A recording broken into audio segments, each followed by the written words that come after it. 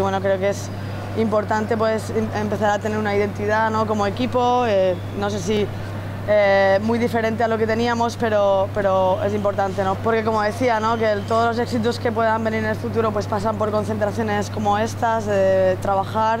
Es verdad que ha sido una temporada muy exigente para todas y, y quizás a nivel de frescura no, no llegamos eh, muy sobradas, pero, pero bueno, estar en la selección ya es un cambio de chip, es un trabajo muy diferente y, y con ganas ¿no? de, medirnos en estos dos partidos. Las dos selecciones tienen ausencias bastante importantes, por lo que decía, porque son, han sido una temporada muy exigente, supongo que hay jugadoras con molestias.